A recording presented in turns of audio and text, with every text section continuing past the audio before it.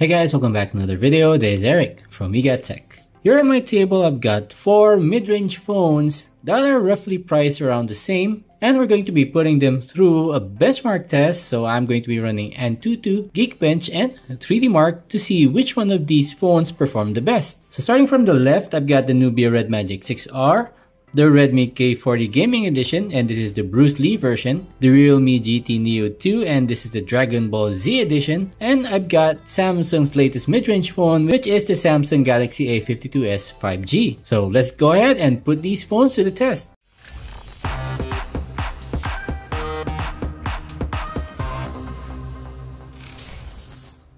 Alright, so before we begin, some key specifications on the phones. The Nubia Red Magic 6R has a Snapdragon 888 and it has 12GB of RAM and 256GB of UFS 3.1 storage. The Redmi K40 Gaming Edition also has 12GB of RAM and 256GB of storage and it has the MediaTek Dimensity 1200 chip. The Realme GT Neo 2 has the Snapdragon 870 and it's also carrying 12GB of RAM and 256GB of storage. In terms of chipset, the weakest among the four is actually the Samsung A52s 5G. It only has the Snapdragon 778G and this phone also has the lowest RAM. It only has 8GB of RAM and 128GB of UFS storage. Now in terms of the game space or the game center, all of the three phones actually have one except for the Samsung A52s 5G. So to turn on the Nubia one, you just actually go to the game space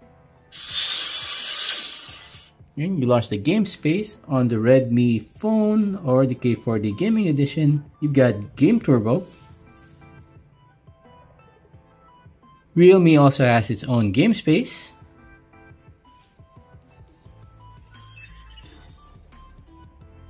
And in terms of the Samsung, it only has a feature called Game Booster and you can specify the game performance here. You can put it as uh, focusing on performance or you can put it on balanced and there's also a power saving mode, but of course we'll keep it on performance mode.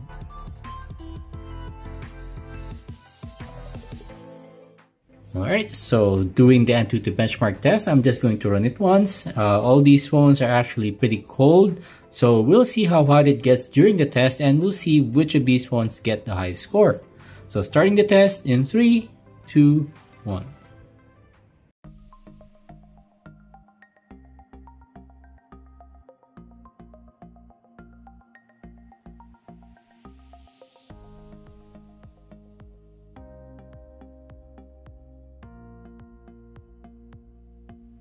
Alright guys, the test is done and as expected the Nubia Red Magic 6R with the Snapdragon 888 actually scored the highest with a score of 823,227. In second place we've got the Realme GT Neo 2 with the Snapdragon 870 with 731,996. In third place, we've got the K40 Gaming Edition with 688, 538, and in last place, we've got the Samsung Galaxy A52s 5G with a score of just 501,630. In terms of the temperature, you can see here, the hottest phone among the four is actually the K40 Gaming Edition hitting 42.3 degrees Celsius, followed by the Snapdragon 888 at 41, a pretty cool 37.2 on the Realme GT Neo 2, and the A52s 5G was a pretty cool 30.2. The phone that lost the most battery was the Red Magic 6R at 6%, 4% on the K40 Gaming Edition, and 3% on both the Realme and the Samsung.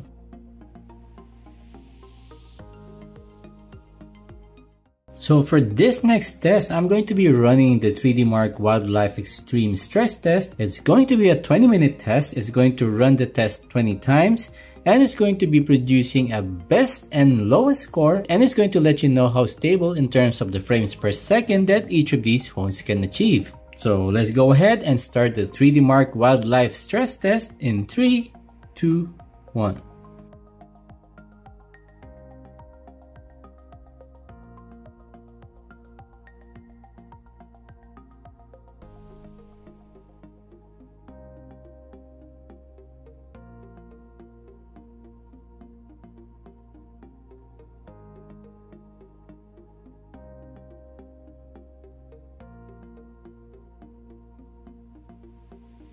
Alright, so the test is done.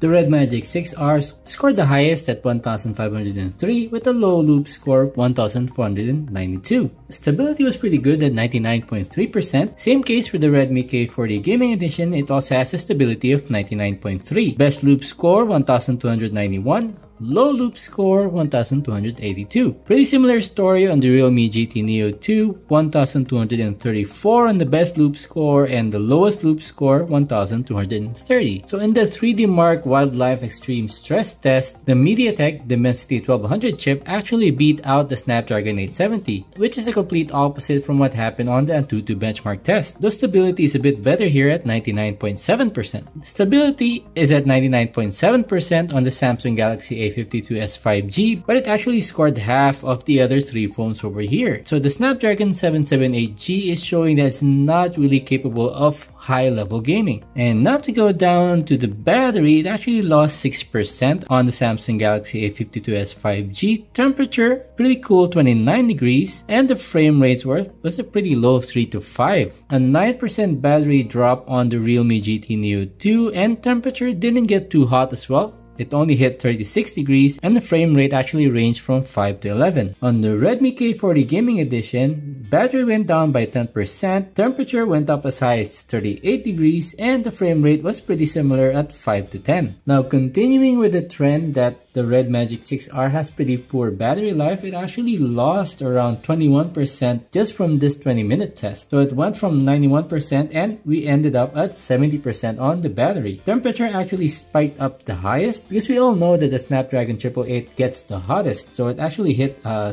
pretty toasty 48 degrees Celsius. So the frame rate actually ranged from 7 FPS all the way up to 13. So pretty surprising here guys, not much thermal throttling happening on any of these phones. And this is even without any internal fan on the Red Magic 6R.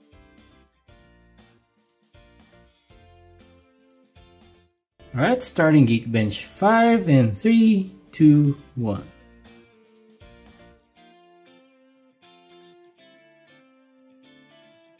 So there is a bit of a surprise here guys. The Realme GT Neo 2 actually beat out the Snapdragon 888 carrying Red Magic 6R. It had the highest single core score of 1006 and it also had the highest multi-core score of 3123. And the MediaTek Dimensity 1200 also beat out the Snapdragon 888. It scores 820 on the single core and 2971 on the multi-core score. 781 on the Red Magic 6R with the multi-core of 2856. So it might have to do with temperature temperature, but I did give it enough time to cool down. I'll probably rerun the test at a later date and see if there is a bug with Geekbench 5 in terms of uh, running it on the Snapdragon 888. The Samsung Galaxy A52s 5G didn't do too bad on the CPU score. It had the 743 single core score and a multi-core score of 2672. So I guess this chip actually does pretty well on the CPU side, but in terms of the GPU performance, it's a bit lacking. So now we're going to be running the compute test. We'll keep it at OpenCL and let's run the test in 3,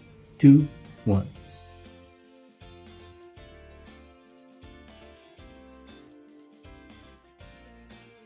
So there is another surprise here. The Redmi K40 Gaming Edition with the MediaTek Dimensity 1200 chip actually ran away with this one with a high score of 4809. Coming in in second place, we've got the Snapdragon 870 on the Realme GT Neo 2 with a score of 3647. In third place, the Red Magic 6R with 3023. And in last place, we've got the A52s 5G with 2206. So before I wrap up the video, here are the graphs of the results that I got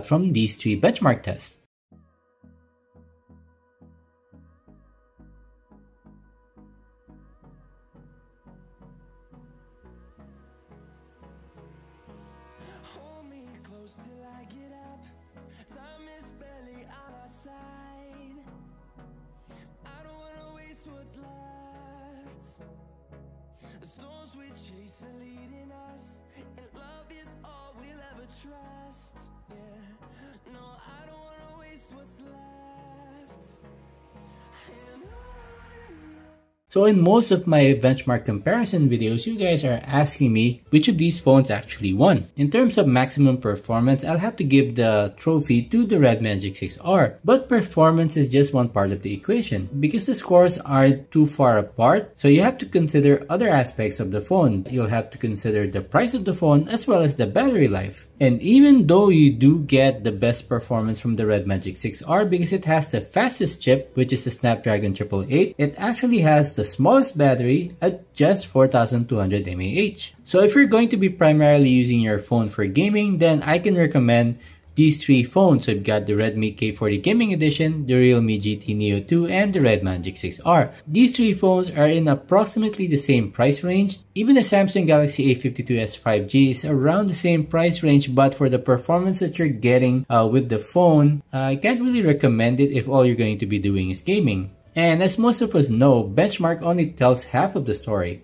So I'm going to be doing another video where I'm going to be testing these phones in actual games. So make sure that you turn on your notifications so that you'll be the first to know once those videos are up. So I guess I'll go ahead and end this benchmark test between these four phones. As usual, a sub would be massively appreciated. Please like and subscribe, hit that bell icon notification, and see you all in my next one.